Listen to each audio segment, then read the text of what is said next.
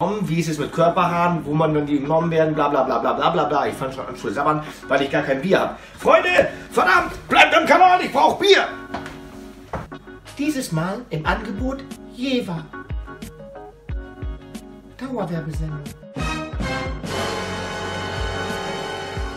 Erstmal Servus meine Plantierten und alle, die noch plantiert werden wollen da draußen.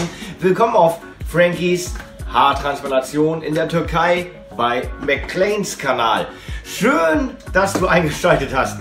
Heute ein ganz kurzes Thema, es wird auch ein kürzeres Video. Ähm, und zwar möchte ich mal, weil ich glaube, also ich glaube, das Problem ist, wenn ich so über eine HT rede, so, dann fragen sich jetzt schon Leute, was meint er mit einer HT? Haartransplantation. Also wenn ich über eine HT rede, dann rede ich über eine HT. Für mich heißt HT Haartransplantation. Ich glaube, manchmal vergisst man, was für Fragen haben die Leute überhaupt.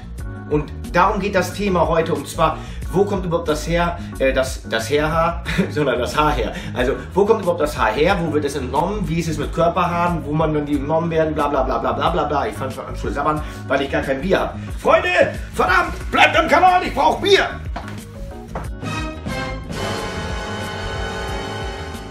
Dum, dum, dum. Dieses Mal im Angebot Jever. Dauerwerbesendung. Nein, so Spaß beiseite. Ich brauche Bier, habe ich gesagt. Und zwar, wo kommen überhaupt die Haare her? Das seht ihr in diesem Video. Bleibt am Kanal. Zurück, meine plantierten Freunde. Heute das Thema, wo kommen die Haare überhaupt her? Der sogenannte Spenderbereich ist der Hinterkopf und der Seitenbereich. Man darf nur Körperhaare entnehmen. Das wissen die wenigsten. Die Seiten und der Hinterkopf, das sind Körperhaare. Der Oberkopf, das sind Kopfhaare. Genetisch bei Männern fallen die Kopfhaare aus.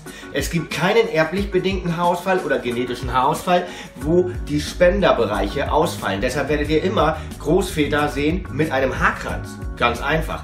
Das wissen die wenigsten. Körperhaare, Kopfhaare.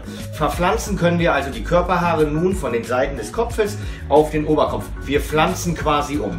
Hier wird rausgenommen, hier wird rausgenommen, rausgenommen und an der Zahl 4000 Wurzeln, Grafts, und die werden euch in den Oberkopf eingepflanzt. Zum Beispiel wie bei mir. Die Haarlinie schön dicht gemacht in der ersten Operation. In der zweiten folgt dann der Hinterbereich, wo wieder die Haare an den Seiten rausgenommen werden. Aber wie verhält sich das jetzt mit Körperhaaren? Wie verhält es sich mit Körperhaaren und warum warum sind, äh, ist es nicht wirklich ratsam, Körperhaare zu verwenden, auch wenn es in anderen Foren und anderen Leuten, die immer wieder sagen, hey, mach doch Körperhaare, das ist doch total einfach. Hey, hör mal, das braucht ja nur dicht sein, dann sieht man, nimm doch einfach 5000 Körperhaare und lass sie einpflanzen. Ja, ist möglich. Sobald ich Haare an deinem Körper entnehme, bleiben Narben. Schultern, Nacken, Beine, Bauch, Brust. Es werden immer Narben bleiben, kleine Punkte. Die bleiben. Und da muss man halt ganz ehrlich sein. Möchte ich die Narben haben? Jetzt sagt ihr, wieso? Ich habe am Kopf doch auch keine Narben. Doch habt ihr. Ihr habt Mikronarben am Kopf.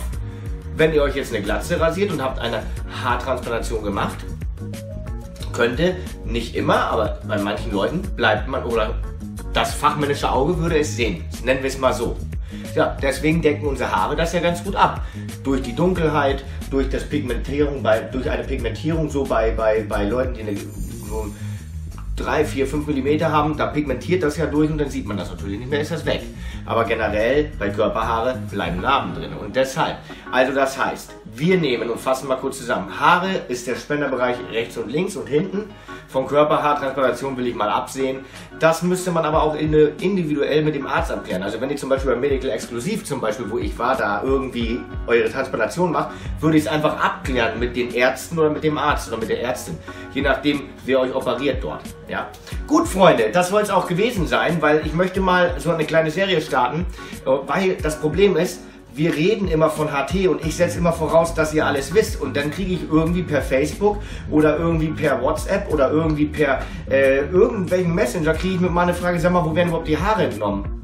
Wo ich dann denke, what the fuck, klar, ist auch mal eine Frage, die man einfach mal den Leuten erklären soll. Also wie gesagt, ähm, ist halt nur eine Kleinigkeit, aber ich glaube, ist auch mal erwähnenswert, weil die Leute, die sich für eine Haartransplantation äh, entscheiden oder das suchen, die suchen ja gezielt nach diesen Fragen und auch die Kleinigkeiten möchte ich mal beantworten.